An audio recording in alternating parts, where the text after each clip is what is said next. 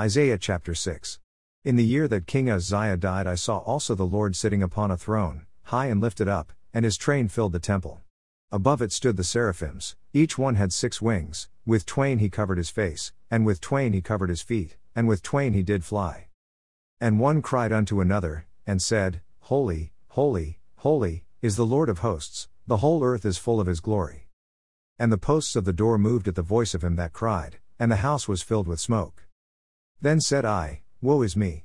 For I am undone, because I am a man of unclean lips, and I dwell in the midst of a people of unclean lips, for mine eyes have seen the King, the Lord of hosts. Then flew one of the seraphims unto me, having a live coal in his hand, which he had taken with the tongs from off the altar. And he laid it upon my mouth, and said, Lo, this hath touched thy lips, and thine iniquity is taken away, and thy sin purged. Also I heard the voice of the Lord, saying, Whom shall I send? And who will go for us? Then said I, Here am I, send me. And he said, Go, and tell this people, Hear ye indeed, but understand not, and see ye indeed, but perceive not. Make the heart of this people fat, and make their ears heavy, and shut their eyes, lest they see with their eyes, and hear with their ears, and understand with their heart, and convert, and be healed. Then said I, Lord, how long? And he answered, Until the cities be wasted without inhabitant, and the houses without man, and the land be utterly desolate. And the Lord have removed men far away, and there be a great forsaking in the midst of the land. But yet in it shall be a tenth, and it shall return, and shall be eaten, as a teil tree, and as an oak, whose substance is in them, when they cast their leaves, so the holy seed shall be the substance thereof. Isaiah chapter 7. And it came to pass in the days of Ahaz the son of Jotham, the son of Uzziah, king of Judah, that Rezin the king of Syria, and Pekah the son of Remaliah, king of Israel, went up toward Jerusalem to war against it, but could not prevail against it. And it was told the house of David, saying, Syria is confederate with Ephraim. And his heart was moved, and the heart of his people, as the trees of the wood are moved with the wind. Then said the Lord unto Isaiah, Go forth now to meet Ahaz, thou, and Shearjashub thy son, at the end of the conduit of the upper pool in the highway of the fuller's field. And say unto him, Take heed, and be quiet, Fear not, neither be faint hearted for the two tails of these smoking firebrands, for the fierce anger of Rezin with Syria, and of the son of Remaliah. Because Syria, Ephraim, and the son of Remaliah, have taken evil counsel against thee, saying, Let us go up against Judah, and vex it, and let us make a breach therein for us, and set a king in the midst of it, even the son of Tabeal. Thus saith the Lord God, It shall not stand, neither shall it come to pass. For the head of Syria is Damascus, and the head of Damascus is Rezin, and within threescore and five years shall Ephraim be broken, that it be not a people. And the head of Ephraim is Samaria, and the head of Samaria is Remaliah's son. If ye will not believe, surely ye shall not be established. Moreover, the Lord spake again unto Ahaz, saying, Ask thee a sign of the Lord thy God, ask it either in the depth, or in the height above. But Ahaz said, I will not ask, neither will I tempt the Lord. And he said, Hear ye now, O house of David, is it a small thing for you to weary men, but will ye weary my God also? Therefore the Lord himself shall give you a sign Behold, a virgin shall conceive, and bear a son, and shall call his name Immanuel. Butter and honey shall he eat, that he may know to refuse the evil, and choose the good. For before the child shall know to refuse the evil, and choose the good, the land that thou abhorrest shall be forsaken of both her kings. The Lord shall bring upon thee, and upon thy people, and upon thy father's house, days that have not come, from the day that Ephraim departed from Judah, even the king of Assyria. And it shall come to pass in that day, that the Lord shall hiss for the fly that is in the uttermost part of the rivers of Egypt, and for the bee that is in the land of Assyria. And they shall come, and shall rest all of them in the desolate valleys, and in the holes of the rocks, and upon all thorns, and upon all bushes.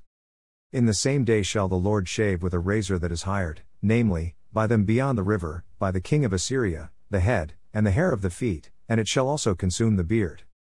And it shall come to pass in that day, that a man shall nourish a young cow, and two sheep. And it shall come to pass, for the abundance of milk that they shall give he shall eat butter, for butter and honey shall every one eat that is left in the land. And it shall come to pass in that day, that every place shall be, where there were a thousand vines at a thousand silverlings, it shall even be for briers and thorns. With arrows and with bows shall men come thither, because all the land shall become briers and thorns. And on all hills that shall be digged with the mattock, there shall not come thither the fear of briers and thorns, but it shall be for the sending forth of oxen, and for the treading of lesser cattle.